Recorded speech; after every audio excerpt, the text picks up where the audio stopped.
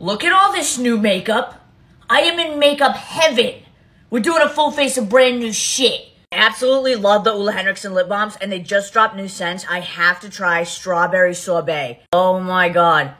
First of all, the shine. I want to eat this. This smells so good. This is new from Estee Lauder. It is their Futurist Peptide Power Serum Primer.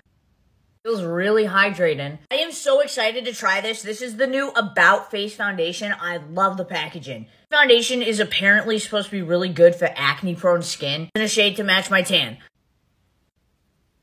This looks really pretty. Honestly, it feels like skincare. It's very light on the skin. You don't feel it. It has a really pretty glow. Excited about these from Catrice. They're called Melted Sun and they're cream bronzer. Shade looks right up my alley. It's called Beach Babe. I love cream bronzer. It is like one of my favorite steps. Wait, that is beautiful. I just got home from the beach. The freezing cold Massachusetts beach. I like that this is